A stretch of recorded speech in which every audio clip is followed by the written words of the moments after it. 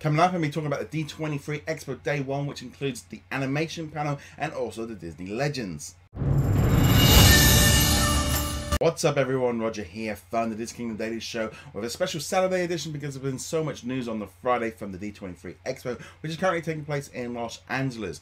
So there's a couple of different panels. Number of, there's so much news coming out of yesterday, so I'm just going to go through some of the major points here. The main thing was um, first off the animation panel, um, which featured all the movies from like Pixar and also Disney. Um, you had loads of people on the guest. I got a few like pictures and stuff here that were sent officially, um, because they did block any streaming or any photographs coming from the event. It's kind of like watching and via like Twitter. Um, so at the event, they kind of showed off tons of bits and pieces of news. I'm going to read out some of the bits and pieces while you guys look at some of the pictures. So first off, um, on the stage, they had pretty much everyone. John Lasseter, who is in charge of Pixar and Walt Disney Animation Studios, was there. He was shooting out his um, well-known um, t-shirts and sort of Hawaiian shirts out into the audience. Um, we saw Coco. Um, there was a new um, performance of Remember Me. That one's going to be coming out on November 22nd. Obviously, they would kick off for that one because that one is the main one. There's also like a new poster that was given out to people there featuring a skull guitar.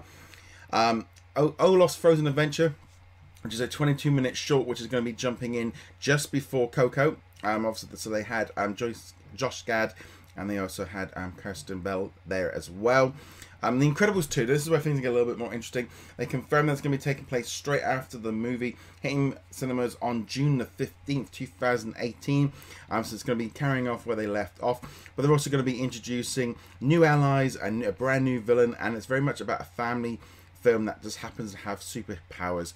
And they may have super speed and super strength, but the experiences the same problems as any other family.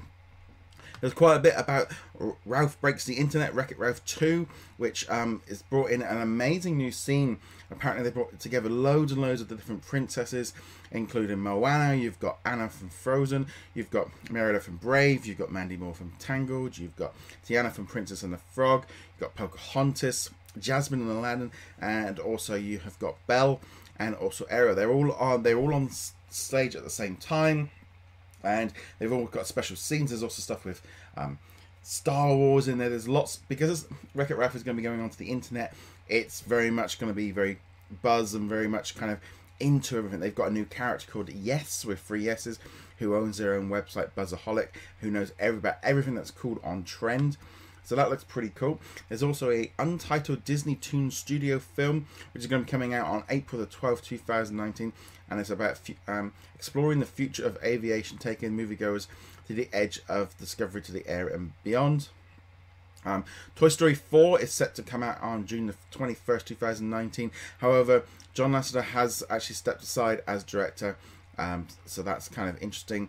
Frozen 2 um, will be in, um, coming out on November 27th, 2019. So we'll see a little bit more about that. There's also a untitled Dan um, Scanlon movie. Who he is the guy that directed Monsters University. So his is going to be about. Um, it's about a story where who has lost a, a troll that has lost his father and is um, set on you know there's no humans on the earth. There's only elves, trolls, and sprites and in the film, we're going to tell a story of two teenage elf brothers whose father died when they were too young to remember him. But thanks to the little magic that is still left in the world, the boys embark on a quest that will allow them chance to spend one magical, one last magical day with their father. Um, so there, so that looks pretty cool. As I put up a few pictures here as well. Now, as far as the Disney Legends go, um, this is kind of like Disney's like Hall of Fame. So they inducted a number of different people in there, including you had Carrie Fisher, you had Clyde um, Jerome, you also had Manuel Gonzalez, you also had Mark Hamill, um, Wayne Jackson, you had Jack Kirby, Stan Lee, um, Garry Marshall, you also had um, Julie Taymor, Oprah Winfrey, and they also inducted Whoopi Goldberg as a last minute um, entry. So definitely cool. Um, I mean, Stan Stanley got a major um, standing um, standing ovation. Pretty much everyone got a very good reaction, but I think obviously Carrie Fisher, that was going to be a very kind of somber moment. But yeah, just a general massive, great big first day of D23. There's loads of images of new um, products out there. There's loads of other panels. We're going to be finding out a lot more, and that's definitely going to be a case of going through and just finding everything over the next few days for those of us that weren't there.